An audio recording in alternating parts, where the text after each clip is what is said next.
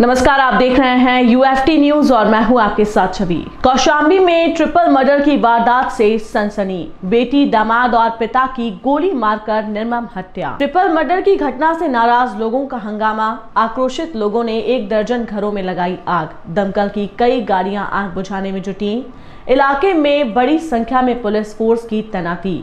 कौशाम्बी ज़िले के संदीपन घाट थाना क्षेत्र की ये घटना। ये ग्राम मोहिद्दीनपुर है, संदीपन घाट थाना क्षेत्र में। ये सुबह सवा छः बजे ये सूचना आई थी, यहाँ ट्रिपल मर्डर हुआ है।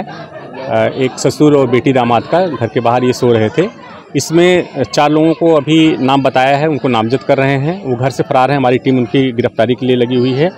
इसमें इनकी ज़मीन की पैमाइश थोड़े दिनों पहले हुई थी, उसी को लेकर के कुछ विवाद है, उसके बारे में गहराई से हम लोग जानकारी कर रहे हैं। अभी डेड बॉडी यहाँ से मार्चरी भिजवाने की कोशिश कर रहे हैं और जो पीड़ित पक्ष है, उसके परिवार, परिजन, कुछ यहाँ जो विपक्षी हैं, उनके घर के बाहर जो झोपड़ियाँ थी, उसमें आग लगाई है, आग पे काबू पा लिया गया है। फ़िलहाल स्थिति सामान्य है। हम लोग यहाँ मौके पे मौजूद हैं और जो विधिक कार्रवाई है, वो कर रहे हैं।